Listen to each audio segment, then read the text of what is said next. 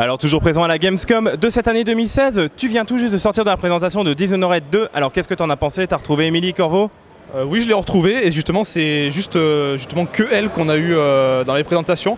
Donc là, on a eu une première présentation. je sais pas si c'est en cinématique ou en in-game, mais c'était plutôt joli en tout cas. Et la, présentation, la première présentation était sympathique. Après la seconde, on a eu droit à du gameplay pur et dur. Donc là, on a retrouvé bah, les pouvoirs qu'on avait pu voir d'Emily Corvo, c'est-à-dire le Shadow Walk, pouvoir qu'on avait déjà vu auparavant. On a, vu aussi, j'ai vu aussi un autre pouvoir euh, d'Emily Caldwin qui permettait de, de sélectionner trois ennemis.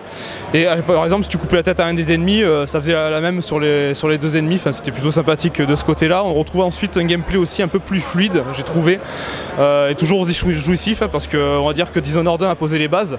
Et là, on retrouve vraiment quelque chose de plus, de, de plus péchu et, et techniquement, on voit qu'ils ont changé le moteur graphique parce que c'est vraiment sublime. Vraiment, les décors sont vraiment sublimes. On a de nouveaux ennemis aussi qu'on nous a montrés. Donc on a eu euh,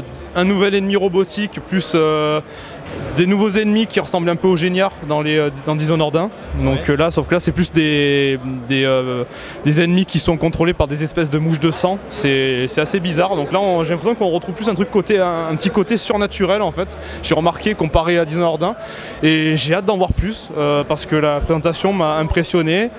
Et j'ai hâte le 11 novembre sur PC, PS4 et One quoi. Pour le retrouver. Donc une des sorties que l'on attend peut-être le plus pour cette fin d'année. Exactement. Bon bah nous on continue notre petit tour de la Gamescom et on va vous donner d'autres impressions. Allez, à tout de suite. A tout de suite.